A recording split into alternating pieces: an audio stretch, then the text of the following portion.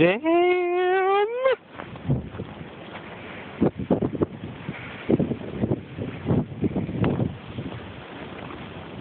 Gotta go get some diapers, some wipes, some milk. Hope I make it back home.